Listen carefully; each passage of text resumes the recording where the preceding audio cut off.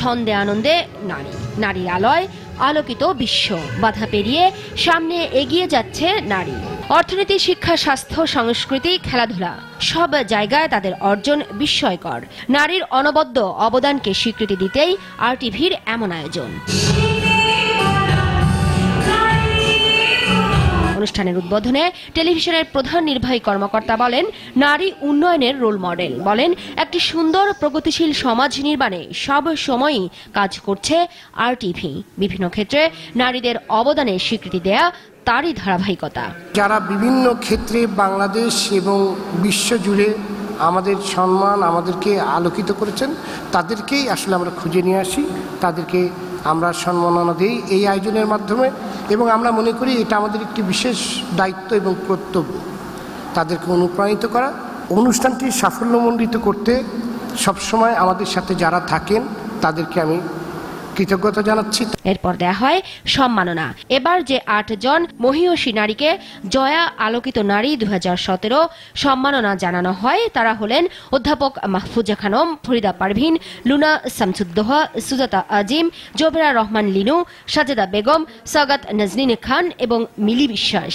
এ সময় তারা একে একে তাদের ভালো লাগার অনুভূতির কথা জানান নারী এবং পুরুষ মিলে আমাদের মহান মুক্তিযুদ্ধের ভেতর দিয়ে যে বাংলাদেশ আমরা অর্জন করেছিলাম সেই অভিষ্ট লক্ষ্যে আরটিপি যে আমাকে আজকে যে সম্মানটা দিয়েছেন সেই জন্য কাছে অনেক অনেক কৃতজ্ঞ।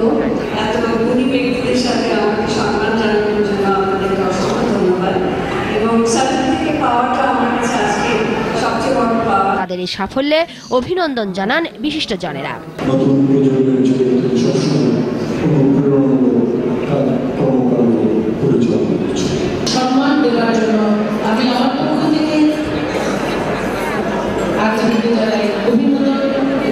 সাফল্যের স্বীকৃতি দিতে তাদের প্রতি দৃষ্টিভঙ্গির পরিবর্তনে জোর দিলেন এসএমসির ব্যবস্থাপনা পরিচালক।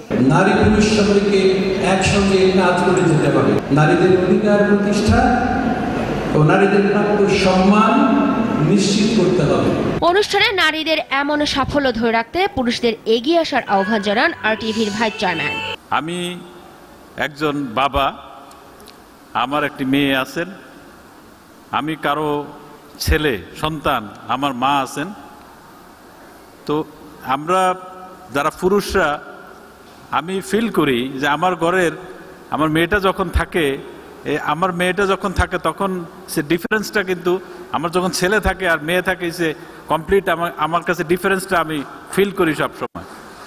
তার মানে হচ্ছে আমাদের সমাজে মেয়েদের যে ভূমিকা, এগুলিকে আমরা অঙ্ক করে আমরা হয়তো এটাকে মিলাতে পারি না। আমরা মনে প্রাণে বিশ্বাস করি নারীরা বাংলাদেশের যে উন্নতি, বাংলাদেশের যে বাংলাদেশের সমস্ত কিছুর সাথে নারীদের সম্পৃক্ততা, এই ধারাবাহিকতাটাকে আমরা এগিয়ে নিতে হবে। আমাদের সবাইয়ের কর্তব্য আমি মনে করি। নারীর প্রতি সব ধরনের সহিংসতা বন্ধ হলে তার পথ চলা আরও সহজ হবে। প্রতিবন্ধকতা মোকাবেলা করতে পাশে থাকবে পরিবার, সমাজ, রাষ্ট্র।